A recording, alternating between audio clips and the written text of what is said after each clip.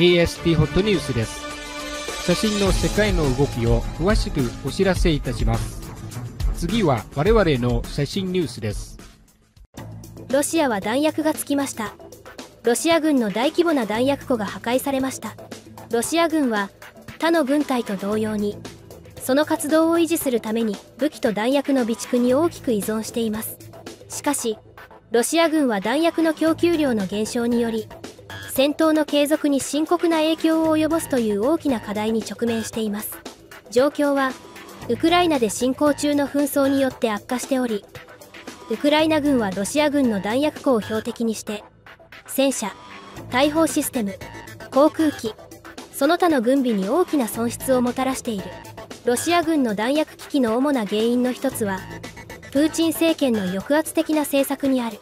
同政権は最も忠実な人物を重要なポストに据えているがその多くは仕事を効果的に遂行するための知識や経験を持ち合わせていない。その結果ロシアの国家機関は大規模な時計に見舞われ国の軍事力にも影響を及ぼしている。例えばプーチンがウクライナ侵攻を決めた時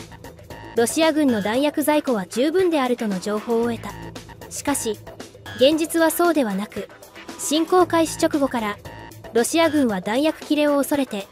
兵士にごくわずかな弾丸を配り始めた。ロシア軍の弾薬危機のもう一つの理由はロシア軍が戦車に大きく依存しているという事実です。ロシア軍は戦車を軍備の中で最も強い部分と考えており多くの兵士を殺すことができる非常に効果的な大砲システムを備えています。しかしウクライナ軍はロシア軍の戦車の方針に弱点があることを発見しました。戦車の方針は360度回転できるものの戦車の実の合計傾斜角度は30度しかなくロシア軍の戦車は空爆に対して完全に無防備だった。ウクライナ軍はカメラと人工知能システムに支えられた高精度のドローンを保有しており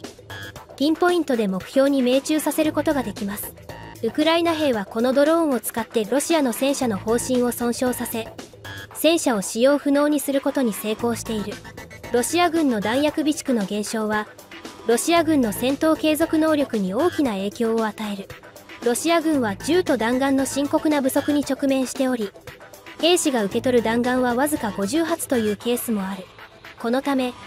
一部の戦場特に戦闘が続いている僻地では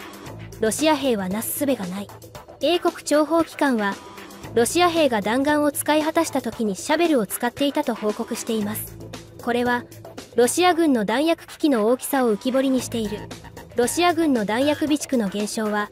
現在進行中のウクライナ紛争にとどまらない影響を与える。特に米国など他国との地政学的緊張を考えるとロシアの外部脅威に対する防衛能力に影響を与える可能性があります。また国境外の紛争特にロシアが影響力を拡大している中東やアフリカでの紛争に介入する能力にも影響を与える可能性があります。またロシア軍の弾薬備蓄の減少は特にロシアが弾薬供給の確保に必死になればウクライナでの紛争をさらに激化させる可能性があります。アントノフ元 CEO ウクライナ軍への妨害で逮捕。最近ウクライナ治安局がアントノフ国営企業の前 CEO と他の2人の職員を逮捕したことでウクライナ軍の合法的な活動を妨害し結果としてロシアによるホストメル飛行場の占拠と AN-225 ミリ焼きの破壊を招いたことが明るみになりました。調査の結果本格的な侵攻の前夜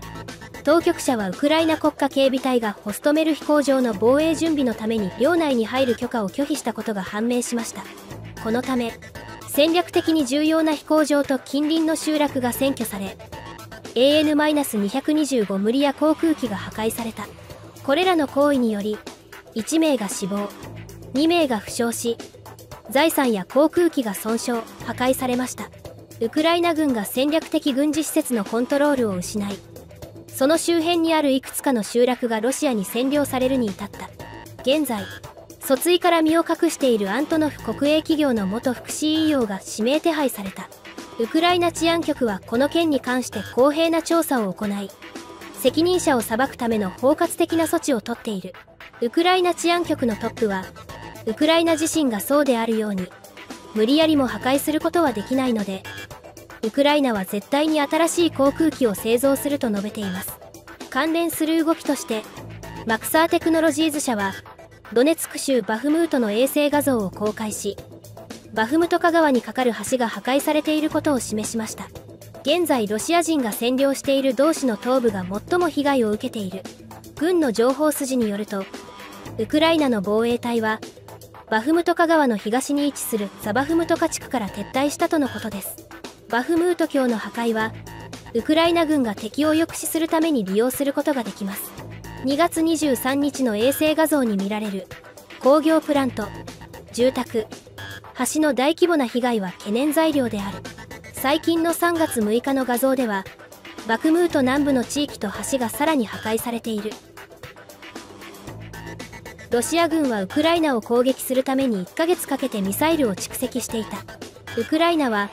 ロシア軍が9日1ヶ月前から生産していたミサイルを使いウクライナに大規模な攻撃を仕掛けたと報じた。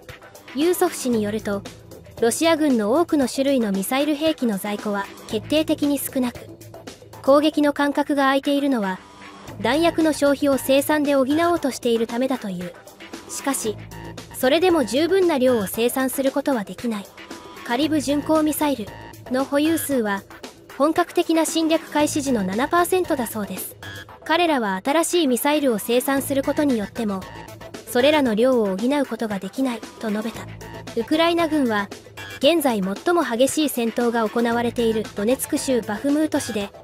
ロシア軍がミグマイナス -17 機の記念碑を爆破したと報告した。このモニュメントはバフムートのドルジバ広場にあり第二次世界大戦に参加したバフムート飛行クラブの士官候補生を記念して建立されたものである。